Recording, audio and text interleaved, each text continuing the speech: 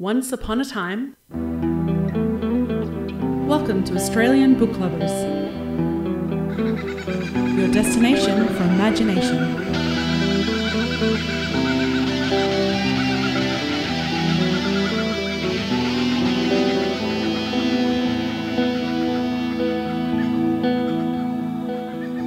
Australian Book Lovers acknowledges First Nations peoples and recognises their continuous connection to country, community, and to culture.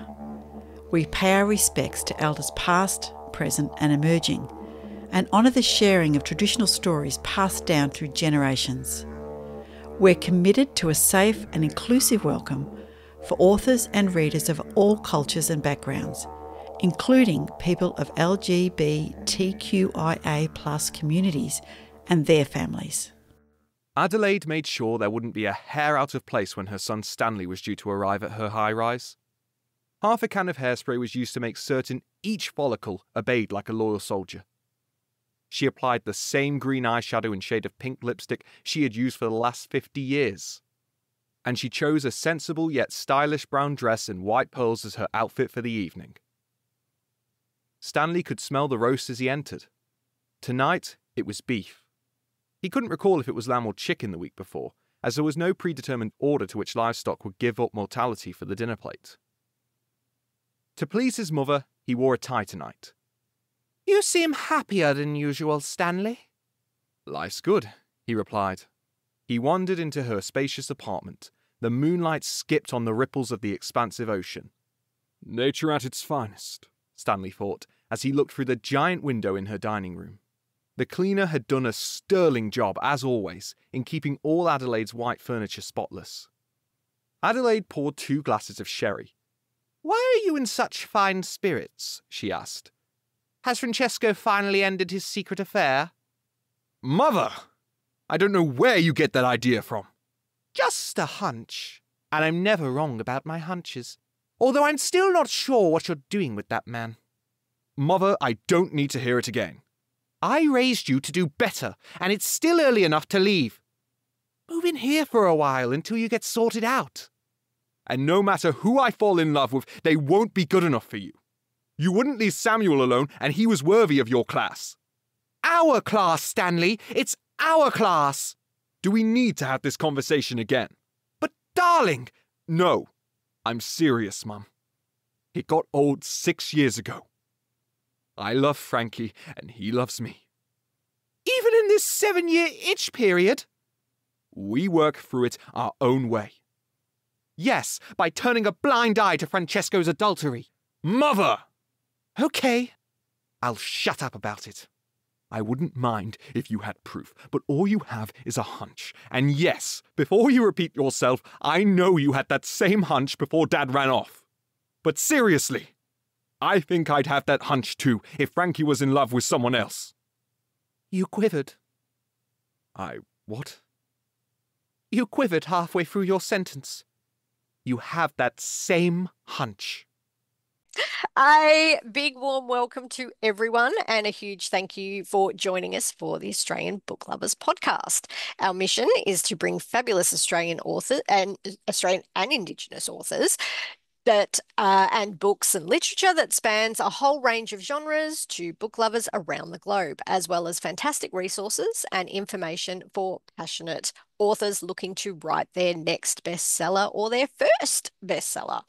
I'm Laurie Bell, science fiction and fantasy author, Friday Fictioneer, reader, and your co host today for Australian book lovers, coming to you from Wurundjeri Woiwurrung country. And and nice that smooth segue that we always have. Uh, I'm Veronica Strachan, aka V.E. Patton, uh, fantasy, science fiction, memoir, and picture book writer. Uh, not illustrator, but definitely writer, reader of uh, all of those genres just about that we uh, spoke about, coming to you also today from a lovely sunny Woiwurrung, Wurundjeri country up here in the Macedon Ranges for episode 124. a dozen dozen. How good is that? Amazing. We are just zooming along. we are talking a lot. we, we are zooming we, along. It is Yes. fantastic. I'm loving It it. is. And look, you know, more Yeah. than 10,000 downloads. I haven't looked for a little while, but lots and lots. And, you know, people uh, supporting us, which is fantastic. It's just a great place that where we celebrate our Aussie authors. So I hope you enjoy we- our chatter. And we have And chatter for We you today. appreciate all of you, all of you lovely listeners and watchers, those that may have popped in to watch along with our, with our Indeed. crazy. Indeed. And uh, I started the podcast, or I will, I started the podcast with uh, something from the lovely Kevin Klehr. And Kevin is an Australian author with has a new audiobook out through his American publisher, Nine Star Press, um, read by British narrator Lawrence Knott. Uh, and The Midnight Man is an urban fantasy about Stan, a man going through a midlife crisis who re examines his life with the help of Asher, a guy who shows up in his dreams. The novel won the fantasy section of the short lived Gay Scribe Awards and won in the LGBT category of the Paranormal Romance Guild's Reviewers' Choice Awards in the US. Uh, and so you got a little sneak preview as- of that at the beginning of the podcast. Thank you, Kevin. And uh, yes, lots of fabulous Australian people over on Blue Sky. Tell us, Laurie. We just chatted about that.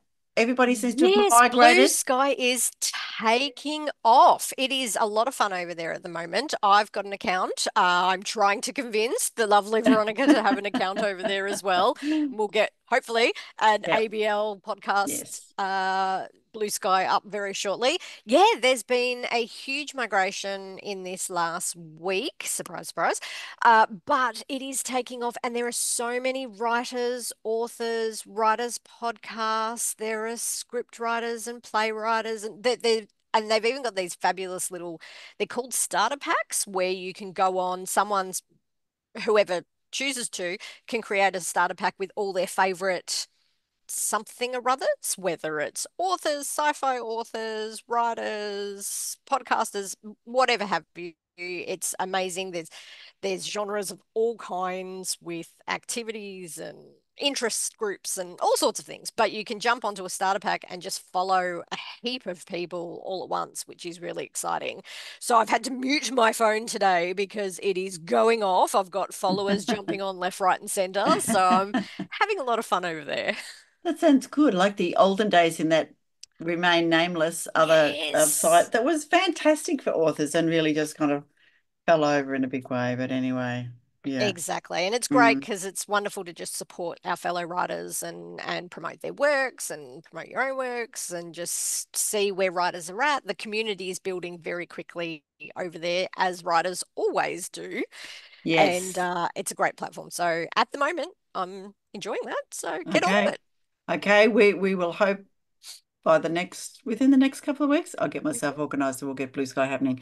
I Okay. I thought that then that might be uh, as you're saying that, I Mm. flicked open the Dictionary of Obscure Sorrows by John Mhm. Koenig, and there's a word here called hem-jawed, an adjective feeling trapped inside your own language, struggling to shake away the baggage, weighing down certain words, unable to break out of its age-old structures and melodies, frustrated that the scattering of verbal pigments on its palette could never quite capture the colours in your head. And I thought, well, that's kind of a really nice description of that previous platform that shall we Yeah. Yes. Absolutely right. So Mhm. yes, well, that's a good word. Yes, Don't, so don't know if I'd remember it. No, no. Oh, let me give you another one then. How about this one? Mm. Suerza, S-U-E-R-Z-A. This is a noun. And it's a feeling of quiet amazement that you exist at all. Ooh. A sense of gratitude that you were even born in the first place, that you somehow emerged alive and breathing despite all odds. And let me tell you, as a midwife, I know the odds are amazing. Uh, having won an unbroken streak of reproductive lotteries that stretches all the way back to the beginning of life itself. And it's from the Spanish suerte, and which is luck, and fuerza, which is force. Suerza, a feeling of like quiet that amazement one. that you exist at all. I, I like that one too. There's a there's a than the nice little uh, sort of sci-fi fantasy kick Uh-huh. there as a word, but Uh-huh. also the wonderful Finegan that you talked to today. yes. Uh, yeah, with, with the whole butterfly effect of one person's life affecting another person's life without them knowing, and yeah, so absolutely amazing. Yeah, the fabulous fun. Finn uh, and his dog Larry, who will be clicking in the background. Uh, it was lovely chatting with Finn, and mm. uh, yeah, we just went everywhere. You know, the because he's a theatre um, yeah playwright. Playwright. Yeah. I, yeah, I, I accidentally called him a screenwriter, which very, very politely corrected me. No, no, that's all right. Quite different theatre mm. to screen. Uh, but yes, mostly um, TYA, theatre yeah. for young adults, and has theatre awards and uh, oh, been translated into all sorts of languages and over a hundred plays. It's yeah, amazing. Yeah, all over the world. So it was fabulous to chat with him um, about his first novel. Uh, which I was lucky enough to have a read of uh, the end Lovely. and everything before. So that's coming up. But first of all, I think we do, need do, some do, news. Yeah. Let's do it.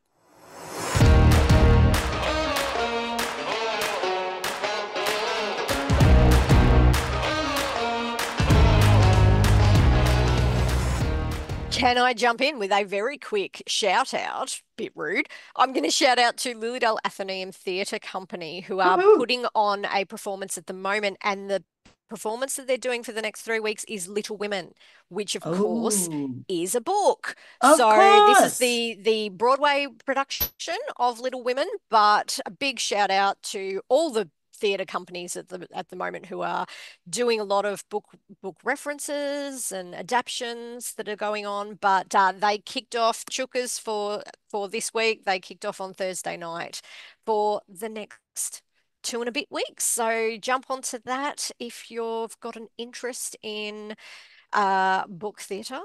And yes. I think they're even doing they're doing Diary of Anne Frank next year, so that's going to be amazing too. Oh, so bring on the book adaptations. Yes, we have we've interviewed a number of authors uh, that have that kind of theatre connection, don't they? Yeah, yes. yeah. Maybe there's just something in that need to perform for an audience or just get out there and get the the the the the bring blood the words to life. Yeah, bring, bring the, the, words, words to life. To life. Yeah. We hear the, the, the dialogue, I guess. Yes. So there, there's yeah. there's a lot of connections with yeah with theatre folk and uh, yeah. And I know the books. fabulous Emily Rayburn um, is part of the theatre world yeah. up in uh, the Australia Australia's capital in the. ACT, uh, and yes, has a beautiful speaking and singing voice, I think. So there you go.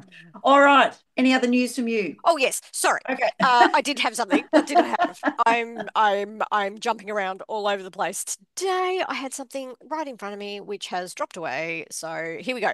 Uh, oh yes. So Australia Reads had a spotlight. They've, they've had a couple of um, spotlights come up lately, but they've recently had a spotlight come up about uh, just reading and the support of teaching and reading of Australian literature in schools, mm. which is really exciting. So they're they're pushing they're pushing a, a big launch, particularly this year with uh, teachers registering for a free account on the Australian Reads site uh, to cover teaching re- nearly 300 uh, teaching resources for Australian fiction, poetry, plays, non-fiction, graphic novels covering from foundation to senior and second, secondary school. Um, and there's units, there's curriculum units written for teachers. Jump on it. It is amazing. Uh, sample classroom and assessment activities. There's links to other online resources. Um, and also First Nations writing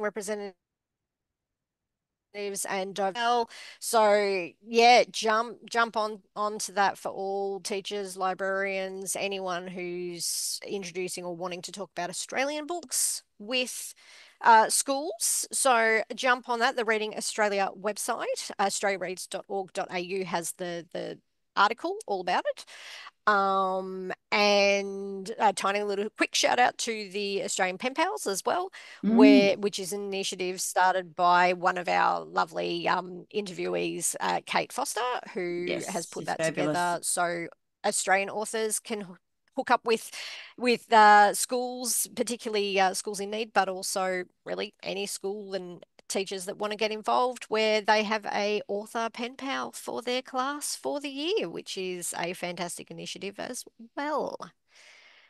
And there we go. Excellent. So that, that, was my news for this week. That's that is some excellent news. So let me tell you, I did a little scroll of the libraries, mm-hmm. and Geelong libraries have got award-winning writer Anne Freeman running a writers' workshop called Stories with Spice coming up at the Geelong Library, and the you can jump onto the Geelong uh, Library website, and they are, and it's a, a one chili. explores what makes a successful spicy scene and how to craft one. Uh, and so you can jump on to what is it, the try booking, uh, and uh, it says it's a one hour interactive workshop.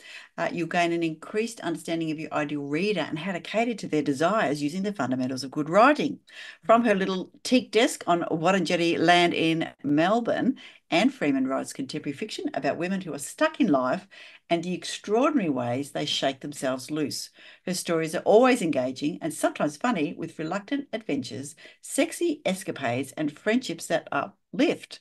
Uh, Anne's second novel, Me That You See, was shortlisted in 2022 uh, for the Hawkeye Publishing Manuscript Development Prize and longlisted in the 2023 Grinstones Literary International Novel Prize. And it's now out with Hawkeye Publishing. So there you go. Um, I might need to get onto that. That's the one one part of my books that I yeah. fall into a puddle giggling stupidly to myself and then can't write. So, yeah, advice, can't do it. terrible, absolutely terrible at it. Love reading it. Love reading it. it. Yeah, and and and how far do you go? And and you know what do you leave to the imagination and all those kind of things. So um, big thing. My parents read my books. I, I can't I can't do it. I giggle too much and then I fall into a heap, into a giant puddle. Yeah, yeah, yeah. it, it is a skill. It is definitely a skill. All right. Massive skill. Now, yep. actually, you know what? I'm going to give a shout out to uh, another theatre performance, which is happening.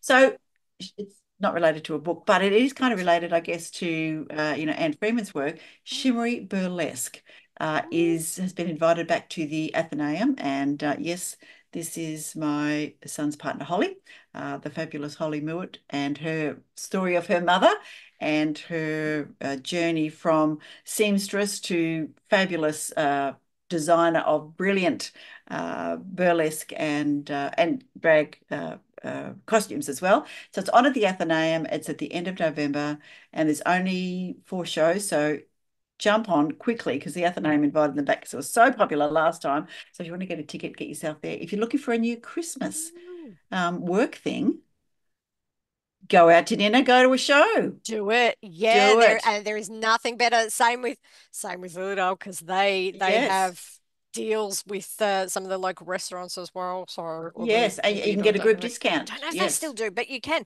Yes, dinner and a dinner and a show with some yeah. of the restaurants in Lilydale, but also uh, I think it's just theatre is a great thing. It, it takes you it out of the moment, and it's these are amazing amateur shows, but they're so well crafted and they're so yes. well acted. Um, yes. and it's only 20, 20 10 20 30 dollars so it's you're getting a show you're getting a night out you're getting a glass of shampoos and you know it's a good night out yes and, you're supporting artists this is the, the, other thing local artists as well local artists yes um, mm. holly is a melbourne uh, I won't say girl, she's a Melbourne woman. So there you go. Uh, Wonderful. Oh, trying to be better. All right. And our final piece of news is that the Booker Prize was won by Samantha yes. Harvey and that's worth $97,000 for her book Orbital, talking about science fiction mm. um, and published Although, isn't it interesting? They're not wording it as no, science fiction no, in all the promotion. I of course. have had an issue with that this week. It's like, oh, it's literary fiction that's set in space. Really? It's just science, science, fiction, people. Get over yourselves. We've had this discussion before. Okay. And genre books can win awards. Genre Look, is amazing. She's just won ninety-seven thousand dollars. We all love to read it and yep. Yep, just call it what it is, people. All right. Sorry, I have Oh, issues. Uh, I I can understand it. So, orbital takes place over a single day in the life of six astronauts and Mhm. cosmonauts aboard the International Space Station. Um, so, you're compactly yet beautifully expansive. Orbital invites us to observe Earth's splendor whilst reflecting on the individual and collective value of every human life. Okay, uh, let me just go. Harvey's written a novel. Uh, this is for uh, by de Waal, who must have been on the panel. Uh, oh, Edmund de Waal, uh, uh, said one of the judge, chair of the judging panel. Harvey has written a novel propelled by the beauty of 16 sunrises and 16 sunsets. Everyone and no one is the subject, as six astronauts in the International Space Station circle the Earth, observing the passages of weather across the fragility of borders and time zones. With her language of lyricism and acuity, Harvey makes our world strange and new for us. Um, said Harvey of writing Orbital, I thought of it as a space pastoral, a kind of nature writing about the beauty of space. That was very nice, anyway. That's nice. So yes, that's good. So well done. Good luck to her. And of course, we did have an Australian in the shortlist, which was Stone Yard Yes. Devotional by Australian author Charlotte Wood. Uh, yes, so that's fantastic. All right, enough news. We know what's next.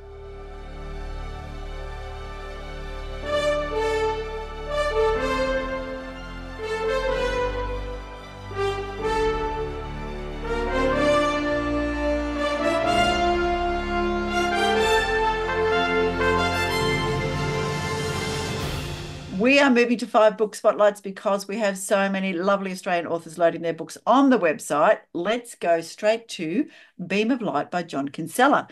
This is a contemporary anthology. Shifts in tone, setting, and narration create a sense of the uncanny in Beam of Light, Kinsella's haunting collection of stories. A man is disturbed by the sight of a familiar dining table and chairs atop an impending bonfire of bulldozed trees. A girl finds a fox skeleton and feels compelled to protect its spirit by dispersing its bones over the valley. A couple are invited to dinner by Christians new to town, an occasion that quickly turns heavy and strange. Two men awkwardly meet again when their daughters attend the same ballet class, and a man and a woman struggle to balance the threats of addiction and poverty with the joys and hopes of a new baby. Stories range in location from Ireland to Germany to Greece to the Australian countryside, threatened by catastrophic heat, land clearing, housing estates, and strip malls. And can Kinsella's characters, so often on the edge, sear the consciousness. So, some praise for John's writing. The stories never forget they were written on land with history, Aboriginal land that was stolen, and the blood that was shed, and the skin of colonisation over a deep past. That's from Rachel Watts in Westerly. There you go. Lovely. All right. Tell us about John. Excuse me while I have a Mao walk across my screen. it's like she's settling down now. Okay. Uh, so the bio for John Kinsella lives on Balla Ballardong Noongar land at Jam Tree Gully, love that name, in Western Australia Wheatbelt, and has also lived in the USA, UK, Ireland, and other zones. His recent publications include the poetry volumes, the uh, uh Argonaut, uh, no, no, uh. I've said that completely wrong in Inlandica. Oh my goodness, sorry about that. Spirals Collected po Poems, Volume 3. So I'm assuming there's volume one and two, maybe.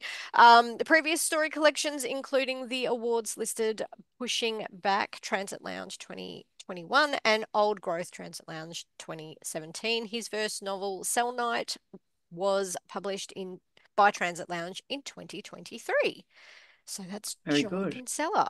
Yeah, and we gave away a copy of Beam of Light. Uh, not this Oh, did we? newsletter, but the one before. We did. It really beautiful cover. I'm looking. Yeah, we definitely gave it away. Now, I want can you can you say that one? I I feel really bad for not saying that pr- pronouncing Oh, that properly. The the Argonautica Argonautica Inlandica. Inlandica. There we Argonautica go. Inlandica. There we go. Inlandica. Yes. Beautiful. Excellent. Thank you, Thank John. you. All right. Number two is The Postman's My Mate by Kelly Louise Jarris. And this is a children's picture book. Join Charlie on an adventure as he unwraps a world filled with surprises and imagination. When his very best mate, the postman, arrives with a mysterious package, Charlie's day transforms into the best birthday ever. What's inside? Rockets, pirates, dinosaurs, or something entirely unexpected. So educators and principals recommend The Postman's My Mate for its educational value and narrative, oh, and entertaining narrative. This fun story with all watercolours hand painted using locally sourced paints is a quirky tale designed to captivate kids and adults alike. Perfect for providing teacher notes, delve into Charlie's adventure and discover the surprise inside the box. So Kelly Louise Jarris is based in the Macedon Ranges, which Woo! is Wurundjeri country. Her books have captured the imaginations of young readers and earned admiration from parents and educators alike. Among her celebrated works is Wonderful Wishes, illustrated by the late Rosie Sale, which takes readers on delightful bedtime adventures. That sounds like fun. Imagine Our Special Place, dedicated to her late sister Charlene, features illustrations by Sandukia. Uh, no, sorry, Sandu. Uh, Kia, yep, maybe I got that right. Descend Yaki and tells the touching story of two sisters who embark on whimsical adventures in the sky. Oh, love it. Cheese on Toast, a fun and engaging read illustrated by Baninga Adra and has been picked up by notable retailers such as Collins and Readings. See Seasons of View, also illustrated by Sanduka Disanyaki, beautifully captures the journey of motherhood and has resonated deeply with many readers. Her recent book, The Postman's My Mate, has been well received with its with both its stunning illustrations and imaginative settings. Kelly Louise Jarris's work is characterized by her heartfelt writing, vivid imagination, and joyful connection she creates with her readers. Her books are not only stories, but cherished memories for children and parents alike. There you go. And the um, I know that my children remember some of our books that we read over and over and over again, and uh, we can narrate them almost without even looking at the book these days. So they do become cherished memories, some of those little ones. Yeah. Yeah. Yeah. All right, book three, Murder Yes. at the Tennis Club by Rita Lee Chapman is a mystery. See, I told you we have a book for everybody in every genre, don't we? We do. So, Murder at the. Tennis Club is a D.I. Mark Williamson detective story. So, D.I. Mark Williamson and his wife Christine moved from Sydney to the Sunshine Coast in Queensland, Australia, for a quieter lifestyle.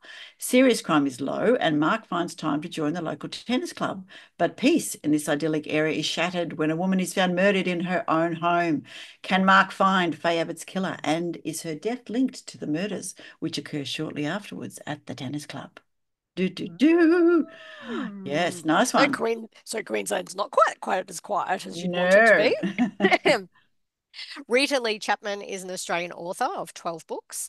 The latest, Murder at the Tennis Club, is a detective story. She's also published the Anna Davis mystery series, Winston, A Horse's Tale, The Poinciana Tree, and Dangerous Associations. Sorry, bug in my face. My, and her three children's books are The Unicorn Angel, Frankie the Unicorn Who Couldn't Fly, and My Very Naughty Pony. Beautiful. So yeah, Rita has uh, a, a great breadth by the looks of it there. That's fantastic. Mm. Yeah. Book four is The Power of Content by Mel Daniels, and it is a non-fiction book.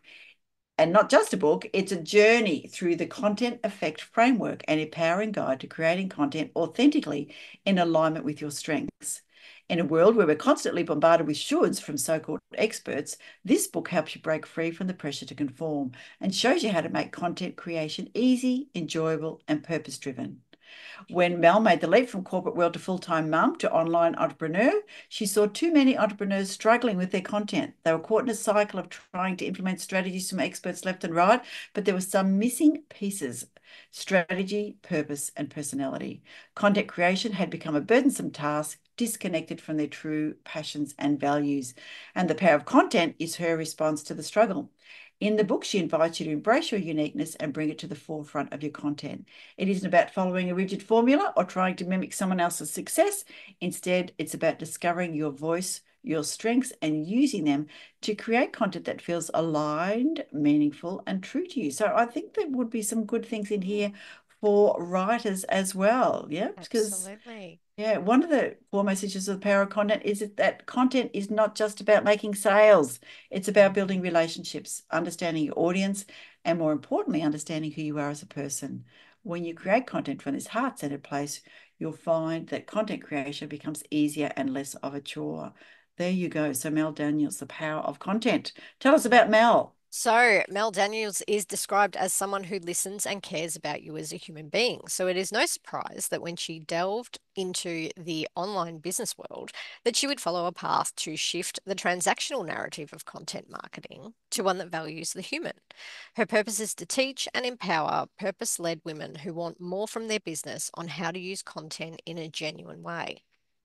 Mel gives them the confidence they need to become more visible, seen as an as the expert that they are, and inspired to take their business to the next level in a way that feels more aligned to their values and beliefs. Mel also believes that even when the pathway isn't clear, diving in and working it out in the most imperfect way is often the most perfect way.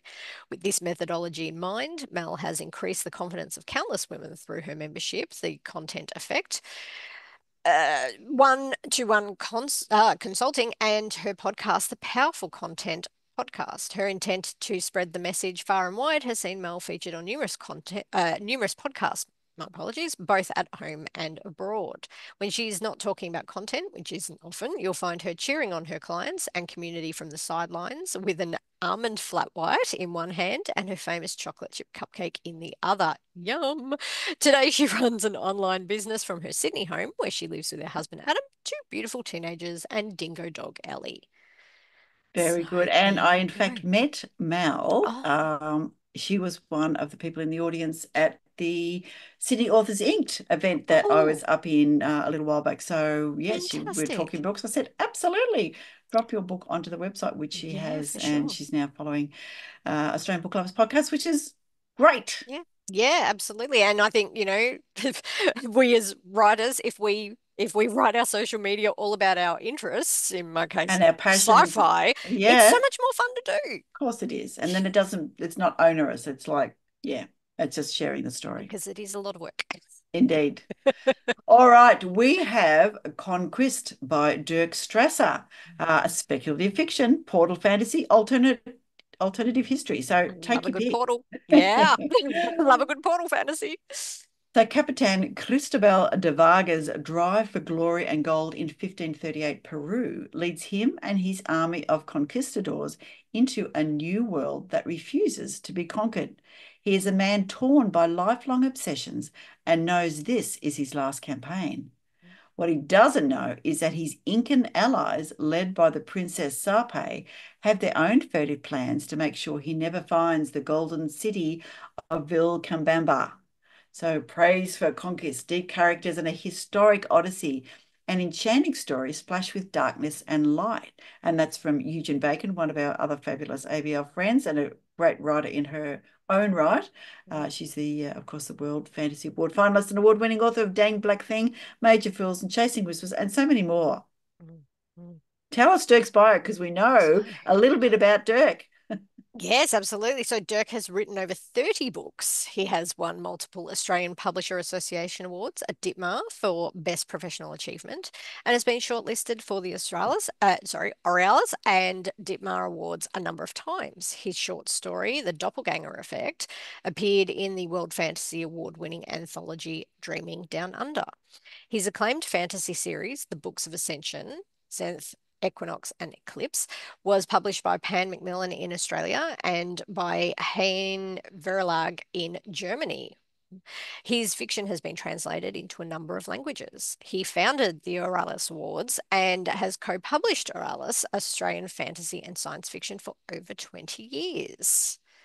Which is absolutely brilliant. So, yeah. thank you, Dirk. We absolutely appreciate that. And we have him on the list for a chat a little bit down the list, but oh, we're we're getting to as many people as we can, and we yeah. will uh, make sure that we uh, we chat with uh, with Dirk very soon. Okay, Absolutely. so that is right. five. Five, you know, could you get better? You've got a, a speculative fiction portal fantasy. You've got a beautiful nonfiction to tell you all about content. You've got a murder amazing mystery, your amazing picture amazing book, book, and a lovely contemporary anthology. I mean, there are so yeah, many brilliant Australian authors, and so... we have so many books on our list for giveaways too. Yes, yes, yes. I was a bit slow. Uh, I've just given away uh, four books, and I've still oh. got. Oh, I've still got a stack of um, uh, books to give away, so I'm going to try and do my newsletter uh, a little bit more than uh, once a month, which is good. And because good. books make good, uh, gifts for Christmas. Let's talk about Absolutely. And look, we are we are creeping up to Christmas is six weeks away. I don't like putting that out loud because it makes me think it's going to go way too fast.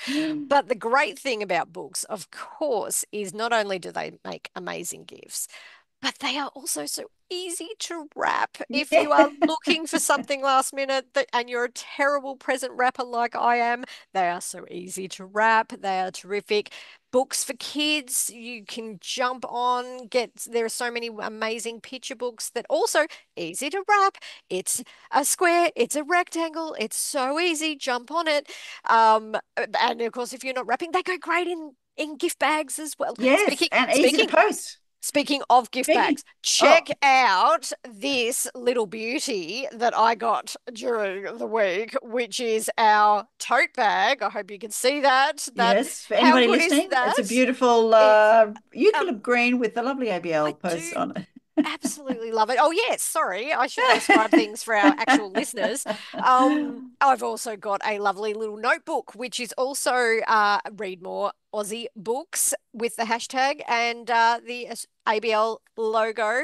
Uh, what else? Ooh, ooh, ooh, and I've got a I've got a coffee mug, coffee mug, and of course our lovely shirts. We Merchandise, are guys, we would- indeed, I've got a We would uh, love your support coloured- if you are a fan of the podcast or our YouTube channel. You can grab merch. Again, great Christmas presents, easy to wrap. Great Christmas presents, yes, and you uh, Absolutely. the, all of the genres. The our lovely little logos have uh, their own. Uh, you can get Yes, them in uh, like, with black writing, white Riding. I'm writing, wearing the fantasy one today and Yeah, check and out I've got that little I've got. ABL on mine, Read Yep. More Aussie book. So if you're buying for overseas, this is one of the most unique gifts that you can give is uh, a, a t-shirt or a cap or a handtail or a scarf covered in little Australian um, animals. We know kookaburra, And platypus, If emu. you are a reader of Aussie books and you love love your reading and you don't have the cash to splash, and fair enough, no one's got the cash to splash this year. Um, a review on your favorite writer's latest book, any book, any review, it's free for you to do, and it really helps us out as authors and gets Absolutely. word around about our books. And Yeah. hey, it's free. It's Yes, free and or easy.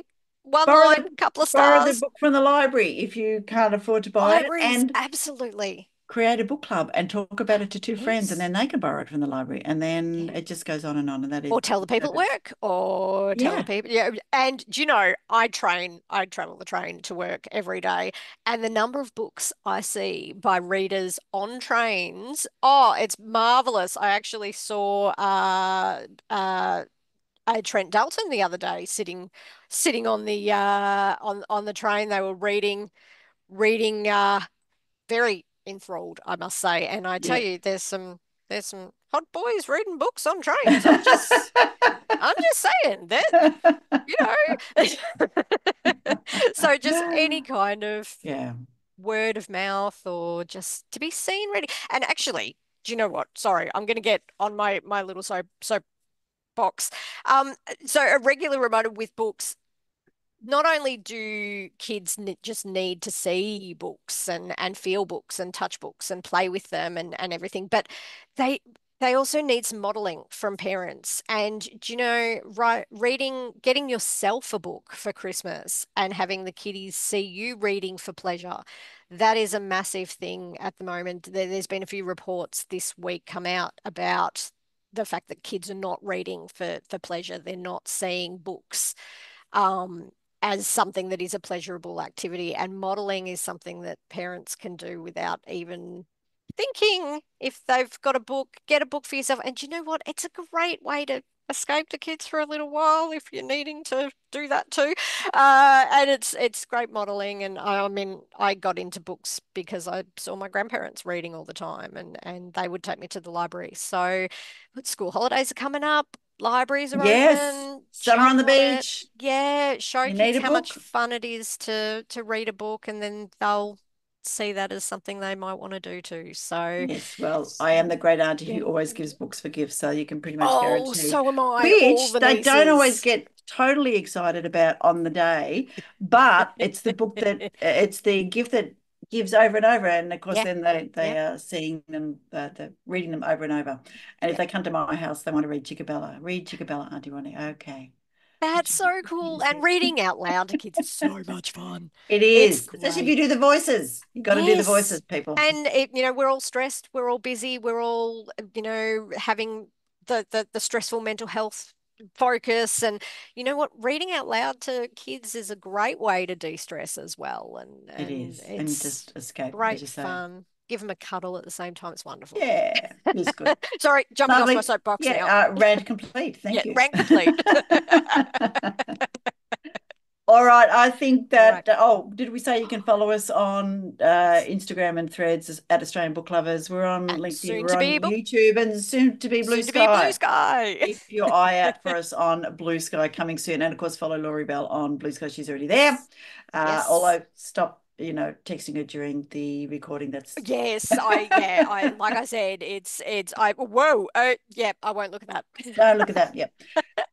We now want to jump into the uh, interview that I had, the Yes. discussion that I had with, With uh, fabulous uh, Finn Kruckemeyer. So, Yes. um, when I I realized that I read a different blurb for him, so I'm just going to say, uh, read his blurb for the end and everything before it now.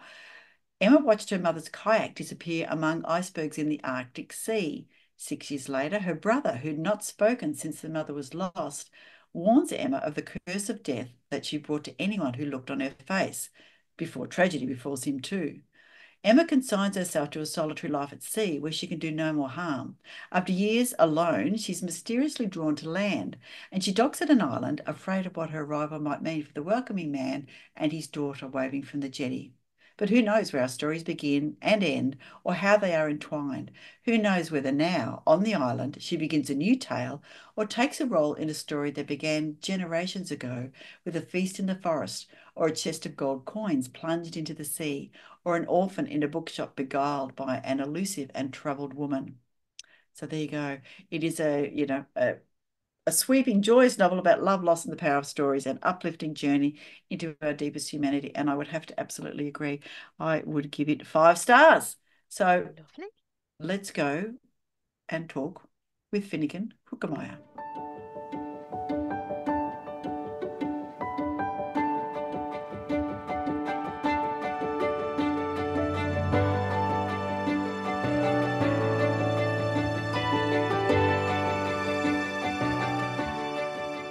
Welcome, book lovers. We have with us all the way from South Australia the fabulous Finegan Kruckemeyer. Welcome to Australian Book Lovers, Finn. Thanks very much. Lovely to chat. Now, I'm here on Wurundjeri Woiwurrung country, and uh, there are mobs all over the place. Whose country are you on over there in South On Australia? Kaurna land over here. Ah, beautiful. Yeah, the, the land of Darren Cass and Co., one of our uh, co-founders and presenters. So uh, lovely. How's the weather over there? It's oh, it's a bit grey today. My son's Yeah. not at school, so he'll be Yeah. lamenting the inability to get out on Uh-uh. the, on the yard too much. But yeah, it's all right. It's It's all right. Yeah. Uh, at the moment in Victoria, of course, it's it's reasonable and actually quite sunny. But you know, give us five minutes and we could be raining, uh, as we were last night. We had uh, some big storms here. Yeah, right. Yeah, we have a book to talk about, which is the end and everything before it. But there is so much more to Finn than your first novel. You know, to say that you're a debut author is yeah a little a little bit ingenuous. So I'm going to start people with Finn's bio, which is that he was born in Ireland and moved halfway around the world to Adelaide, aged eight. Uh, a decision that obviously he didn't have a lot to do with. Otherwise, his parents might have moved into Melbourne, the, the best country in the, the best city in the world. Anyway, more on that. All right. Yeah. So after 15 years, he and his wife left for the island state of Tasmania. Absolutely beautiful. Lived down there a couple of years myself. Okay. And after 15 more with their son Mo, they returned to Adelaide. Uh, now, Finn is an award winning playwright whose works have been performed on six continents and in eight languages. And that is a very short sentence to sum up an absolutely incredible body of work. So, yeah, let's start with what brought you to the novel. So before all of that, all of that writing and the the screenplays and all of the things. Um, I know that there's a sense, there's a thread, there's a common thread that eh, for me, looking at all of your beautiful plays for children that draws into your novel. But tell me what started you on the screenplay writing road. Uh, uh, so the the theatre writing, the play. sorry, the theatre writing, yes, yeah, yes. cool. Um, screenplay is another. Sorry, yeah, it's another. Do- sorry, yes. I'm, I'm, very green in that area. Yeah. Um, uh, the playwriting kicked off because yeah, so I arrived in Adelaide when I was eight years old, and I'd lived on a quite isolated hilltop in in regional Southern Ireland. Uh, so I had lots of books. I was reading all the time, but um, but in terms of uh, social extracurricular interactions there wasn't much. Like i was seeing my mates at school but then the rest of life was kind of pretty yeah rural. And um and suddenly i was in adelaide and there was a youth theatre and so i discovered everything that came with that and this lovely community of people and we were all kind of aspiring fledgling actors. And then i did that for a few years and then kind of realized in time, which was good, that I'm not an actor. Uh, I, I, don't really want to be an actor, and and in actuality, it was the words that were the the great pleasure for me, and I just hadn't made that correlation that the reading had kind of blurred, kind of osmotically into this next thing I was doing, and so I had a, a, great director friend, and she gave me my first commission um, mm-hmm. to write a play for that youth theatre company. So when I was 18 years old. And then from there, I just kind of kept getting these commissions from other youth theatres and then into adult theatre companies and then professional companies making works for young audiences. And that became the the good majority of the plays that I've written have been for young people as brought to life by professional ensembles um, yeah, and that's been 20 years. I've had 20 really lovely years of, of being a playwright.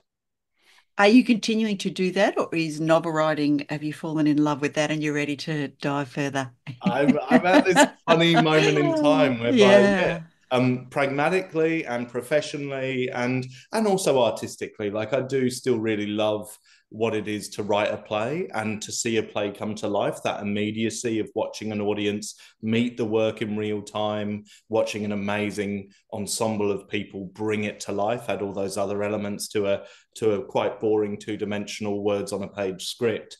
The way that they then fill it with life and breathe life into it is just a magic trick over and over again. So i'll never i'll never get sick of that.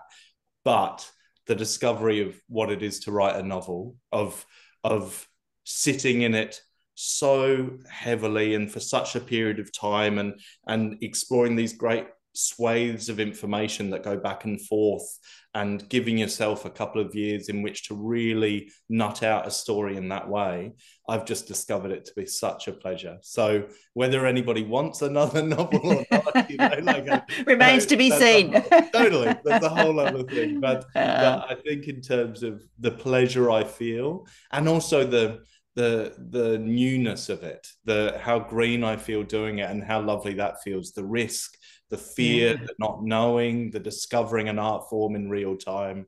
Yeah, I think books are my my pleasure for a while. Excellent. In fact, let's go back to childhood because you did send me some beautiful responses, and I, I do want to say, uh, ask, you know, when did you first admit that you were a writer of any description? Mm.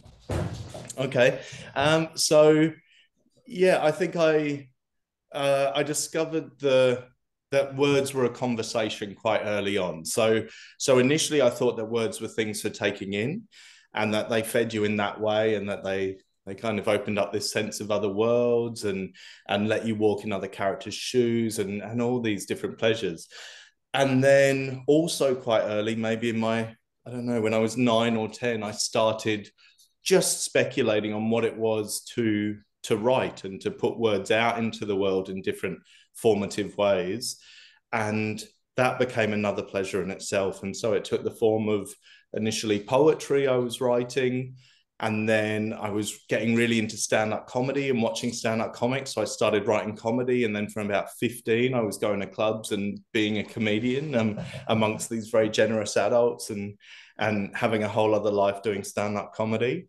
Um, and then and then plays started to take shape probably from around 15 or so, just kind of in amateur ways with my mates. And then, yeah, as a commissioned thing from about 18. So, so just that, just, yeah, the generosity of words, the inherent loveliness of words that they, they can be born of anything by anyone for anyone and they can exist for grand vast audiences or they can exist for you and you alone and they're just a they're just a great um yeah i don't know a lovely balancing thing and i i'll never tire of of the sense of of lovely democracy that they provide that is beautifully said. And I'm also so, uh, looking here that you had a pint with your dad recently, and he was reminiscing that you first told him it was your occupation when you were four. Oh, yeah, that's true. that's true, actually. And there is a there's a photo of me. I'm sitting in the backyard in Irish farmland, sitting cross-legged, uh, leaning, poring over a, a piece of writing that I'm trying to manifest, and you know, looking really studious, like I'm trying to crack this idea, whatever it might have been, yeah, however flippant or earnest or whatever it was. Um, yeah, and that would have been about five or so. Yeah. So yeah, so yeah, fantastic it's a it's a pleasure when you can know the thing that you love from early on. I think that's always mm-hmm. been really I've I've had a very lucky life, and one of the the great gifts is that sense of just inherent knowing. Well, you know, not always mm. like in a financially lucrative way. I've had lots of sadly no kicking around as an artist and being fine with that, but just yeah. knowing the thing I loved has been has been a great gift. Fantastic, and your favorite book as a child, I loved that.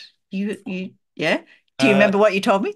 Yeah, I'm trying to think. Was Emil and the Detective? yeah, absolutely. I haven't heard of that one for such a long time, but it, it was one of my favorites as well. So, uh, yeah, just just brilliant. Isn't it funny how stories capture us, and there is mm. that uh, kind of fantasy of another world, yeah. be it a, a realistic world or whatever, and yeah. we can just immerse ourselves and and step away from oh, siblings or problems or you know, yeah. food or chores or whatever it is, and just yeah, just it's it's rich. The ability of authors to change our lives is fantastic. Totally. And I, I love the power dynamics in that book. I remember, I, I think I can still viscerally remember reading that as a kid and going, you know, like there's these nefarious adults who are kind of, you know, thieving and, and mm. unscrupulous. And then there's these cool, bolshy kids who are kind yeah. of getting together and, and righting wrongs. And I'm like, yes, yeah. You know, like, like the child as the hero, not as somebody to be saved by a caring adult, which is, of course, so much of, of how the world operates, and thank God for that. Mm-hmm. But um, but the fact that they could be, you know, arbiters, deciders of their own fate, it's yes, cool. yes. it feels empowering. Yeah, definitely, definitely. All right, so let's look at the threads that take you from uh, writing youth theatre and mm-hmm. uh, you know as you said there's, there's often kind of you know messages in those but sometimes it's nice just to sit and watch and and be absorbed in the performance i really liked your thoughts there so mm. what then drew you to write the end and everything before it your first novel yeah okay so years ago there was a character called emma the greek who turned up in a play i wrote for adults. It was a commission for JUTE theatre up in cairns. And um, and it was brought to life by a wonderful actress called Natalie, and I, she just kind of evoked the character so richly, and it was it was this uh, young woman who's encumbered by this sense of of tragedy she carries that people she sees die soon after, and so she rationalizes that if she sets to sea for a long time, she can give her sick father a long life. Her absence mm. will be the the salvation of others around her, or not around her, of course, and um, and uh, of course it doesn't go as planned. She she sails for many years, but eventually rocks up beside a shore, sees a man with his daughter on his shoulders, and they wave her in, and she goes in, and her life begins.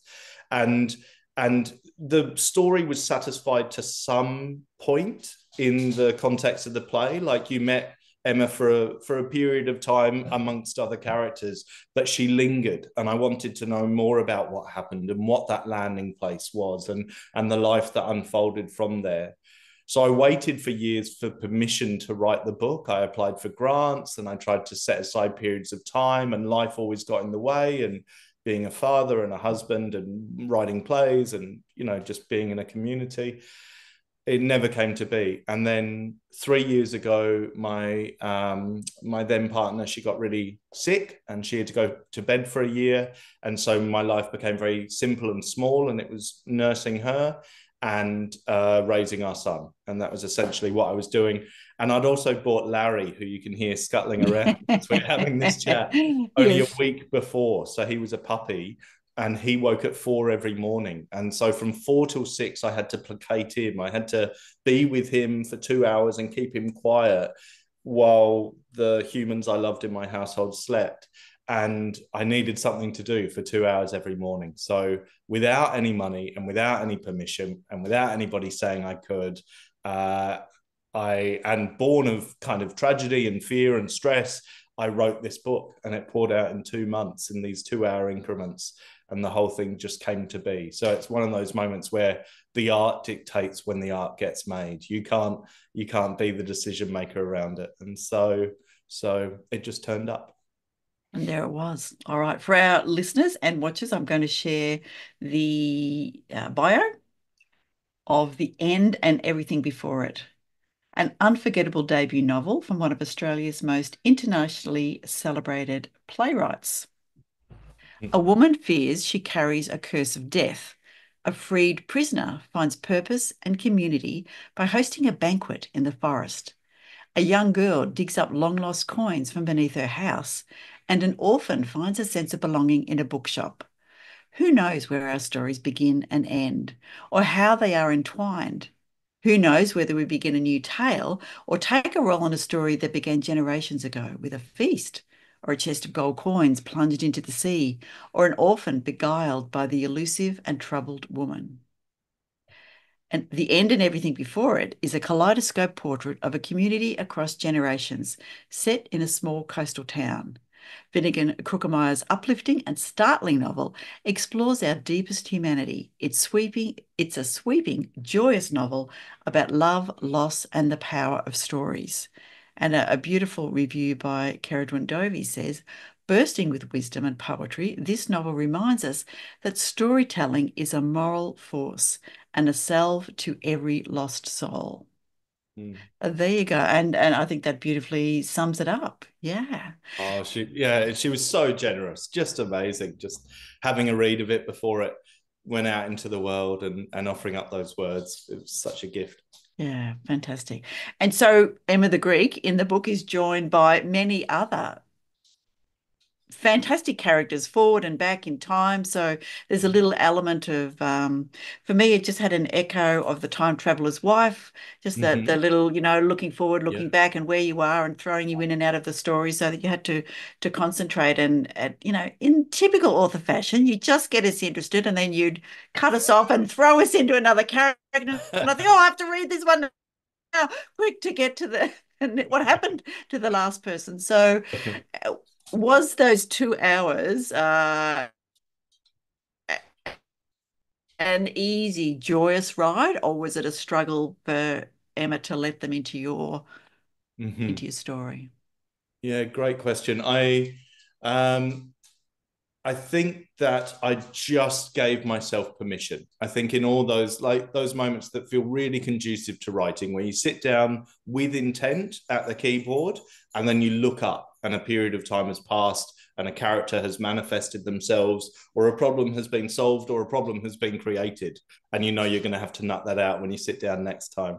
Um, all of those feel like a pleasure and i think the book was very much the result of that. It was this very unconscious style of writing and and it, it felt like a cumulative exercise so i was writing these insights into different characters as you alluded to kind of quite um, um yeah sectionally sometimes and then hoping that uh, the answer would reveal itself. That if I wrote in this way for long enough, there would be a coming together, and the world would explain itself back to me.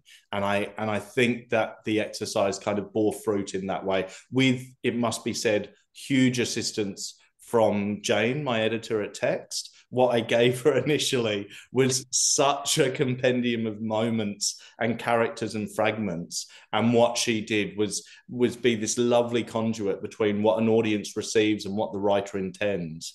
And um, yeah, she she really helped explain the shape of it back to me in a way that I could then write to. Um, They're so, worth the weight in gold, good editors, aren't they?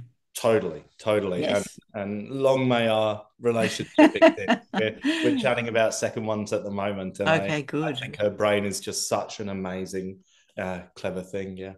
Um, so, so yeah, it was kind of a faith based exercise um, for this atheist boy, which was just to um, just let the writing take shape as it needed, let the characters kind of tell me what they cared about and lean into that. And what I realized quite quickly, and it's a thing that isn't so much a, an aspect of the plays that I write, was that place was a character in itself. All of these divergent, disparate people were arriving, and the place of arrival was becoming more and more important with each, each writing day I did.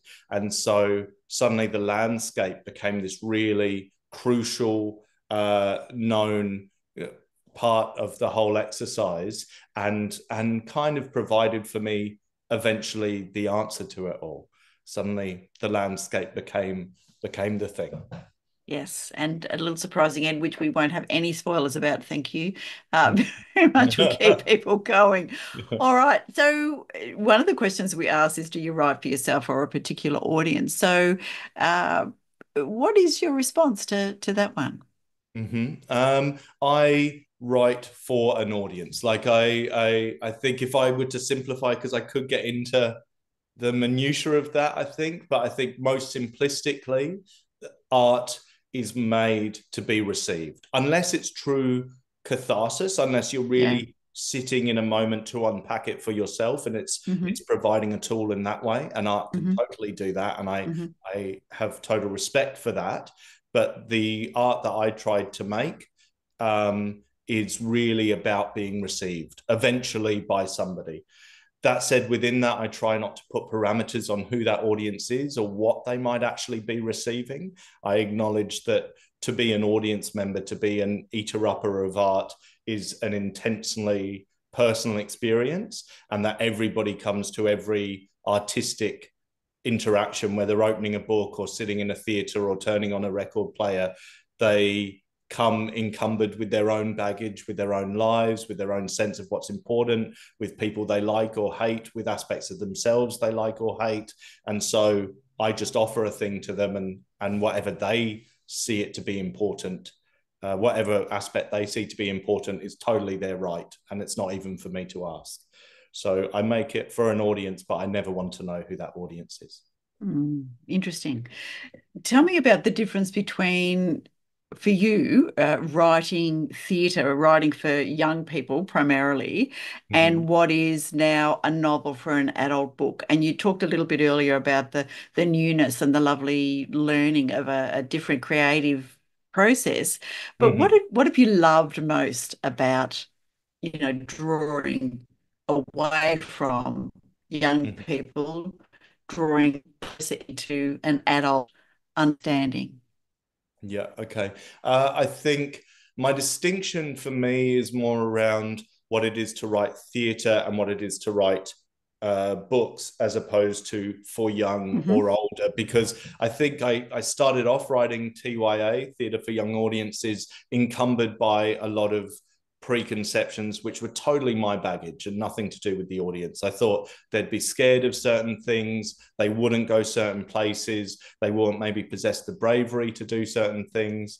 Um, uh, they they didn't have the the uh, the ability to articulate big ideas, and it was all totally my bullshit. Like I I think that that kids have time and again proven themselves really rigorous, robust audience members able to tackle massive ideas, just as in life they tackle massive ideas and massive situations. And and my ten year old son is this kind of font of knowledge and and can do huge brave things. And and so that was on me. So so I let that fall away a few years ago, and I think my writing for young people has become better for it because they feel respected in a different way now. So maybe mm-hmm. that distinction isn't there so much. But with writing theatre, I think I was aware of parameters a lot. There are time constraints, there are cast constraints. You need to there's there's exposition. You need to explain things in a certain period of time to make the audience mm-hmm. feel comfy. So they'll then go with you to the next ideas in a work and you need to wrap it up in a certain way you know it, there's a there's a structure even if you try to work against it i think audiences implicitly have a sense of structures when they're watching a piece of theatre a book just feels like permission. A book just mm. feels like it can start when it needs to end when it needs to go somewhere else in between sit with a character for a while set that character aside go inside their brain, do a macro lens and look at the whole wide world, decide to turn sideways and look at the universe, you know, anything that you need to do, so long as it kind of holds water. Um, yeah, I don't know, there's a shape to it, as long as the reader doesn't feel that they are being totally forgotten, that the writer's just going off on their own. Um, on their own tangents for no reason that serves the story. I think the story can be very brave and go lots of places. So this is what mm. I'm just discovering. I'm only a couple of years into this whole novel mm. writing lark, but, but yeah, I think it's um yeah, wild, just wild. Yes. The insight that your characters have and the the way you express their kind of stream of consciousness and their views of the world, mm-hmm. all of them so different and so clear. How is it that you hold all of those characters in your mind mm-hmm. and let them pour onto the page in their uniqueness? Mm, I okay, thank you. That's very nice. Um, uh, I I was talking with a friend who I'm working on a new a chamber piece with. She's a composer. When we were talking, we realized we both have a thing called um, oh, I can't remember the name of it now, but but I can't picture anything. If I am asked to think of an apple or a beach or or um, uh, my friend's face, I can't see anything. I don't see anything. So I just I write things, but I'm not. Uh, there's not an image evoked, and then I'm kind of trying to write what I see. I'm just allowing. I know what the thing is, and then I write it into being as as the words dictate that day. Um, and so I think I did that with all the characters. I I had no clues about them going in, so I would just sit and wanky as it sounds, I would just listen. I would just kind of wait for them to explain themselves to me, and and often you have first person address in the book. You it is people literally talking to you. Um, and and I kind of just went with that. So I'm like, okay, this is the thing that the person is saying. They're driving forward. They have they have somewhere they need to go. They have an position that they need to get around, and I will just have faith in the fact that if I write for long enough, they will explain themselves. Then, of course, there was lots of retrospective editing to make that, you know, to give that polish and and make that be accessible for a reader. But um, yeah, I think that was essentially what it was. I just kind of met each character as I met them and and sometimes I would sense an absence in somebody's life. And so I would kind of, with intent, then go, okay, who might they be ready to fall in love with? Or who might be the person holding them back? Uh, and so I would sit down with a bit more intent. But even then, it was kind of just uh, an outline created by the absence in this other person's life. And I would allow it to fill itself in. So, so yeah, it was all just quite instinctive because I've never studied, I've never been to uni, I've never learned writing, I've just read lots of books and I have faith in people's voices. Uh, so I just waited to hear the voice and, and make it feel natural.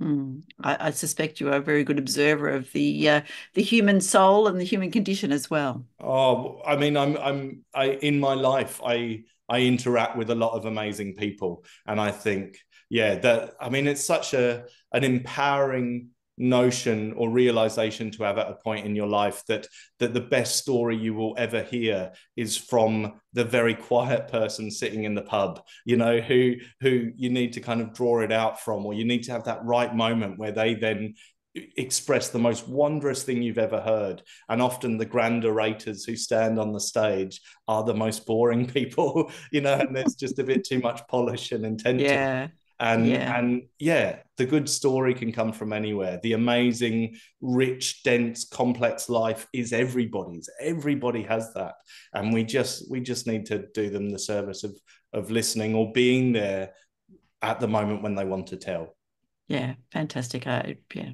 listen actively. Mm. Tell me, uh, from your point of view, uh, once you'd drawn the threads together and uh, uh, put the story, what messages or what threads did you think were important in the end and everything before it? Um, uh, acceptance, I think, I think is essentially just it. Because of the year that I was living, because of the way that mortality was such a presence in my head and in our household at that time, notions of life and death were really butting up against each other. Uh, it was about um, just just being okay not even being okay with that sounds too flippant but just kind of accepting that things would happen as they happened and and finding a way to move through with that and move on with that and to carry hope within that and to to to feel love and to feel the changing of love and and to know that there are these big grand human existential forces and feelings which are kind of buffeting us all all the time and uh, and to try to push back against everything or dictate how things should be is a little bit silly maybe. And and the leaning in is the thing. And so that's why i think you know at the front of the book there's a quote um, which i got from this kind of quite uh, troubled buddhist scholar who kind of started with quite a, a holy uh, life or way of living and then kind of really you know went a whole other direction. Like he he was very human and, and fallible. And he said yeah the the the bad news is you're falling through the air nothing to hold on to no parachute. The good news is there is no ground. And and i find it amazing. I just find it amazing that sense of just existing in the world in this moment in time. Um, of course we can't live that untethered. I have a child that i would like to see grow into a lovely well-shaped young man and uh, and I have all these other relationships that I care very much about. You don't just want to be flitting through life with no attachment to anything at all, but but that sense of yeah, we we watch every new moment as it comes along. I don't think there's anything wrong with that really. No, uh, not only in, in anything wrong, I think there's incredibly right. Humans have such a need for connection, and I hoped that you were going to say hope because for me that was uh, very much the thread that came through. Is Oh. that despite everything, the ups, the downs, the waves, the tragedies, the dramas, and uh, and the comedy, that there was hope. Ah, That that well, yeah, yeah, that's lovely. Thank Yeah, you. That's yeah. really nice. yeah. Let's go to some practical things because many of our listeners are authors, and you've written for two hours in the morning at a at a particular time in your life. What are Mhm. the and besides Larry, who uh, yeah is um, was your your companion there, and obviously grew Yeah. up over that time. Were there any other things that helped your process of writing? Was there music? Was there obviously there was silence, or but you know was there quiet time? What Mhm. helps you get into that ready for writing? Sure. Uh, that yeah. that process was actually quite antithetical in that it was a funny moment in time. It was um, it was yeah, there was inadvertently a structure was created, but I didn't set out to have a structure. It was kind of you know a noisy dog dictating when I should write. Um, but really, I'm quite Teutonic. I am a Kruckemeyer. I am German, and and I do like that sense of of order. So I take my son to school in the morning, and then I write for a period of hours during the day and then I pick him up and then we go hang out with mates and we have our life and we eat dinner and do things. Um, so so actually the regimen of writing I've always kind of found quite helpful and satisfying. And I write to prescribed hours. I write in a room that feels very comfortable. I um, I have multiple things I'm working on, and and that might be as a practical thing. I I don't really get writer's block, but I do find that I'm sometimes uh, a certain idea is not proving fruitful anymore. I hit a wall with one particular idea, so then I set that project aside. I turn to another one, and I find that yeah, okay, maybe this uh, this new story that I'm working on, or this poem that I'm working on, or this screenplay for a film that I'm working on, that one is bearing fruit today. And I switch my focus. And so the act of writing is still there, but it just turned out that that idea, I wasn't in the headset to kind of write in that morose way, or that joyful way, or that flippant way, or whatever it was. Um, so that's been quite lovely to discover. Um, I also, uh, what other practical things? Every every couple of weeks, I write a series of um, treatments for shows that don't exist yet but could. So they're like one or two page synopses of shows that I might write. And then when I'm talking with producers later on about works that I might make, this is in a theatrical context, I say, well, here's a bit of a, a menu. And I show them a few of these treatments and I say, are any of them of interest? And and if one of them is I go, okay, cool, let's dive into that one. And the story then reveals itself. So sometimes I don't give myself the obligation of writing a story from beginning to its end. It's just about nutting out what the thing might be about, and that be enough for that idea. And then I set it aside. Beautiful. All right. Tell me, uh, second books are often more difficult than first books totally. because the first one kind of pours out, and then the second one we feel is obligation to either match or be sequel or whatever. So, yeah. And you give us some outlines of where this second novel is totally. at the moment. it's a very timely question. okay.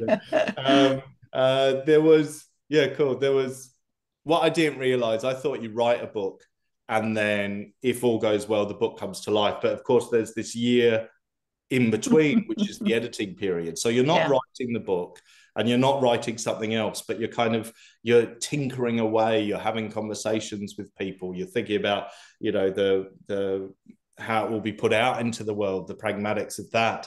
And and so I feel I've just breathed out, not from the writing of the book, because that was actually quite long ago now, but this whole thing of, you know, the minutiae of how how it's rendered and how it becomes a thing that an audience then meets. So I had to do a bit of time of decompressing from that.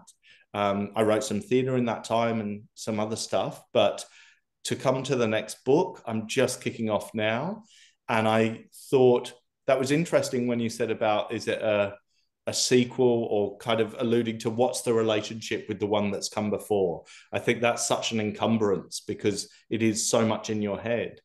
Um, and so I realized that the last, the first one, the last one was all about people arriving. A lot of people arriving in a place and what those arrivals mean and the way that they form a patchwork of lives and, and so a place, a community. So I thought, okay, if that was about arriving, what about momentum. What if I write a book which is purely momentum? And so it's what I'm looking at is two protagonists who are moving throughout the whole book. One is moving towards something, a place that they have forgotten but wish to return to. So it, it sounds backwards, but they don't know where it is. So they're moving forward. The other is leaving behind something. They had a tragedy and their their momentum is to get away from a thing. So, so their aspiration is to create distance, and in doing so, they're both moving, and without encountering each other, each is affecting the life of the other. Things that one is doing is imperceptibly having a quite large effect sometimes on the journey of the other person. So it's the way that we are kind of these kinships exist without being literal. They're not a friendship, they're not a love, they're not parental or childish or anything like that. But without knowing it, you are governing the way that another person moves through the world. So that's what I'm looking at at the moment. That's what I'm about. It's a little light, fluffy piece then. Sorry? it's a little light, fluffy piece then. yeah, that's right. Exactly. It is like there's yeah. yeah. there's there's naughtiness to it and stuff. Okay. It, some yeah. some bits of it have levity. They feel okay they're they're quite cheeky. Um, yeah. But then um, yeah, there's, yeah. There's death as well. no, um, very good, very good. So I just would love you to give us your one piece of advice for authors to begin. Uh, if you know current day Finn could look back at uh, you know past Finn and, and, give him one piece of advice uh, mm. when he was about to start writing, what would mm. it be? Uh, okay, I think it's the yeah the one which I've tended to kind of sit in and feel not want to take that later on after having said it is is have faith in your own voice. I think when we start mm. writing, we often try to emulate our heroes. They wrote the books that inspired us to become writers or made us love reading. And so the first writing we do is a real nod to those amazing craftspeople and i think that's totally commendable and it's it's good to pay homage and to acknowledge the people who have shaped you. But then there comes that lovely moment where you write a sentence or you write a scene or you write a character or a chapter which doesn't bear recognition with anything that you've taken in before and your own voice is starting to show itself. And i think in that moment lean in and grab it and harness it and go why is this idea interesting? Why is this voice turning up? What is it trying to say? Who is this writer? Because that's you kind of blossoming and taking shape and what a lovely powerful beautiful weird scary moment that is. So i'd say love that moment. Yeah fantastic. Excellent advice. Uh, while we're on that tell me who were the writers that influenced you or who do you love to read? Yeah cool. Um, yeah you got some uh, bookshelves behind you I'm very German again, so it's all alphabetical by nationality. so these are all the Americans. Yes. Uh, there's a big pile of Chabon there, Michael Chabon. Right, yes. Um, uh, there's a big pile of John Steinbeck.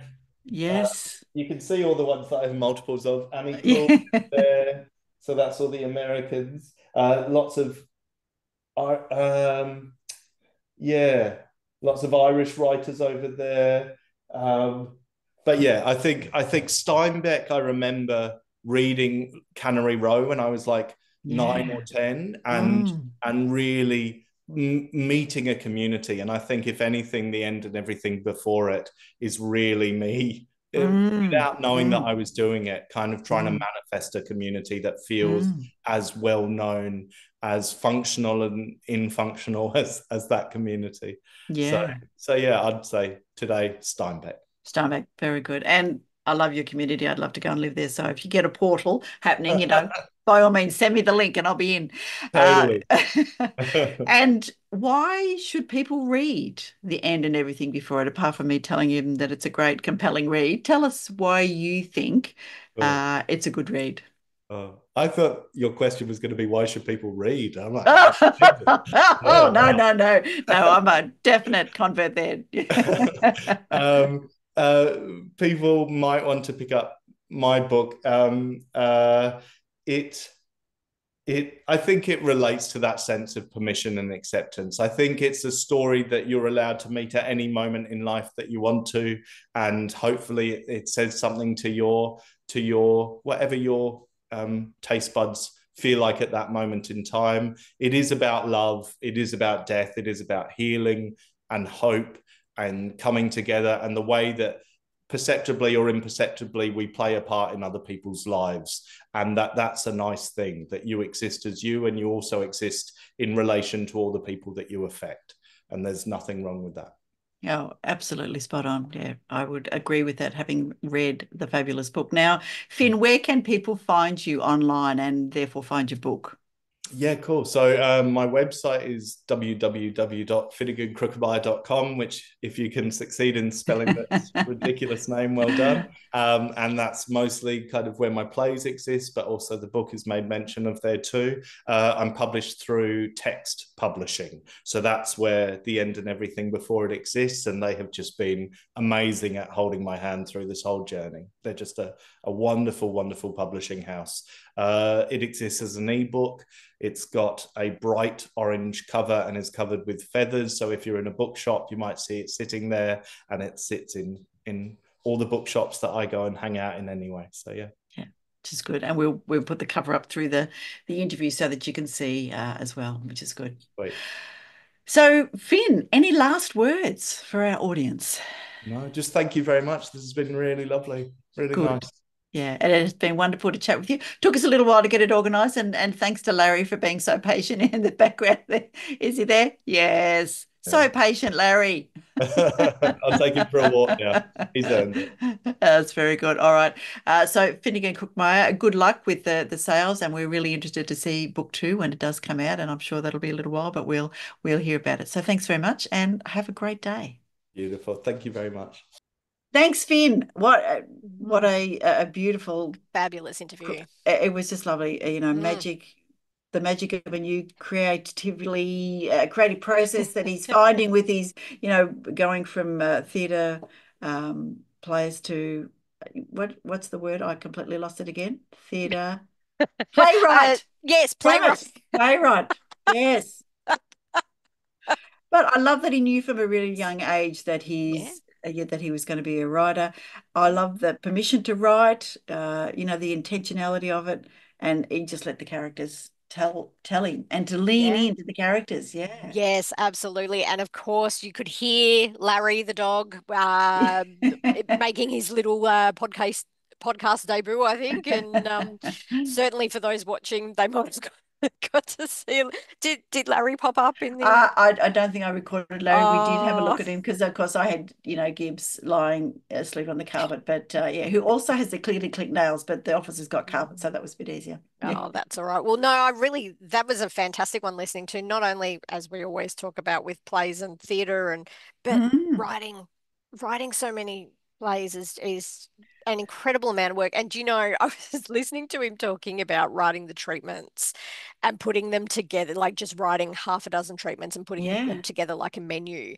And I thought in, in a book way that would be a synopsis and I hate writing synopsises and I can't imagine writing half a dozen synopsises to have I mean it would be really useful to have and it's a great idea but gosh imagine just spending the time writing the synopsises and then putting them as I want to write the book Yes, but then if you think about your flash fiction, think about Yes, it in that true. way that's true because you smash those out every yeah week. that I know that's that's yeah. I, I'm now I'm I'm now timing myself to see how quickly I can write them and Oh, actually wow. have them be any good. So Yes, yeah, yeah, fair they're not always they're not always. It's funny, sometimes I write a flash fiction piece and and I get a lot of traction on it and I think, oh, that wasn't one of my best. And then Hmm. I'll write one that I'm really, really super stoked about and barely anyone reads it. It's like, Uh, okay. okay, that's- just never know. But also, I love the with Finegan talking about that that butterfly effect of of affecting someone else's life without them knowing, and having that intersect through with his novel. So, it was a fantastic interview to listen to. It was Yeah. was really That was engaging. lovely. Yeah, And every every person's life is fascinating. Yeah. The best story is that quiet person at the pub. Uh, and and fascinating when he was talking about the fact that he can't visualize images. yes, I can't remember what the word is either, but yes, there is Um, a there are a lot of people that that Yes. have that, and and it's it's fascinating to me that we've got so many different styles of internalizing data and how we see and describe things, and and so books are an amazing way to describe things in a different way, I guess. yeah, yeah, Um, putting the words on the page. yeah, and I've had so many kids actually say, you know, oh, but reading a book is like watching a movie, but it's in your head. And it's like, yeah, Mm, yeah. But imagine imagine if you can't see it that Yeah, wow, yeah, interesting. and, and there are some people who don't have that. Yeah. And also writing for an audience. He did yes. mention that too, which So I have to admit. I do that as well. I've taken so many notes. That's right. I, I love it. Yeah, use for writing advice, very focused. Comedian. Um, yes. That was fascinating. I found that fascinating. It's like Yes, not only the script it tells you we need to get out in front of people to Yeah, some oh, some of us, some writers don't. Yes. Have Yeah. faith in your own voice. But we are kind of out in front of people. Yeah. Yeah, but it's interesting. A lot of, you know, a lot of writers are internal and th- they prefer to get the words written and then send it out into the world. So it's it's a tough thing having to promote your own work. You It have is. to kind of talk about yourself, and Yeah. we aren't really trained, particularly in Oz, to talk about ourselves. So it's uh it is a different learning style. It certainly is, Ollie. It certainly is. All right. Give us your All quote. right. What My your quote. Okay. So I thought I'd jump in with with a with a writing quote and Mhm. um I I, we've probably said this one before, but Octavia E. Butler, who is one of my favorite writers, Oh, you don't start out writing good stuff. You start out Mm. writing crap and thinking it's good stuff. Then gradually you get better at it. And given that I'm currently in the process of my final edits for book five, the end of my Stone series, yes. yeah, I I can't tell you how many rewrites this one has had. There's been I've ripped it to shreds a few times and it is it's been crap the whole way but it's now taking shape and I'm really pleased with where it's at at the moment and I'm I'm thinking, yay, I might have I might have got to a good a good wrap up, a good good end, place. and That's I'm good. really I'm really stoked about it. So Yeah, yeah, it starts off a mess, but you know yeah. what? Work it, work it, work it, and it comes together. Beautiful. We're going to talk more about that in a future episode, all about our books. Uh, we are going to have an episode for ourselves, which, you know, after 124, I think we deserve it. Okay, I'm going to give you a quote from the lovely, the lovely, uh, no, the thoughtful mm, Carl Rogers. Uh, he was an American psychologist, one of the founders of humanistic psychology. mm. Um, and when I was thinking about um, acceptance, it, it was, and after I w- finished chatting with Finn, I went out and I was letting the chooks out and I put the washing on and I was just Mhm. having all these words you roll around in my head about, you know, those little moments that he was describing. And the quote is, the curious paradox is that when I accept myself just as I am, then I can change. Mm. I Nice. yeah, I that like was that. that was that was kind of spot on. Yeah, that, that Yeah. was Yeah. So there you go. So thanks again. Um, Yes. Finn Cook and I go out and get the end and everything before it. It's on the website and as well as so many other beautiful contemporary stories. And as you know from our spotlights, other things. And if you're looking for a great book to buy for Christmas for yourself or for your kids, jump onto the Australian Book Lovers website. We have every genre. We have uh, Aussie books all over, and they're just that's such great ideas. And the website's getting tweaked, and there's been some updates. So jump on if you haven't been on for a while. Yes, and once Shimmer is finished, then my website designer, uh, because as well as being a theatre producer, um, a, a, burlesque performer, and putting on, you know, these world-shattering shows, she also does websites. So That's she's Brilliant. fantastic. Such a talented girl. Yes, yes. Uh, she is a, a woman of many talents, which is fantastic. Yes. Yes. Uh, I am going to say that we need to remember to Yes. To read read more more Aussie Aussie books. books. Yes. Thanks, Bye for everyone. now. See you later. Bye. Let's meet again. Where magic happens.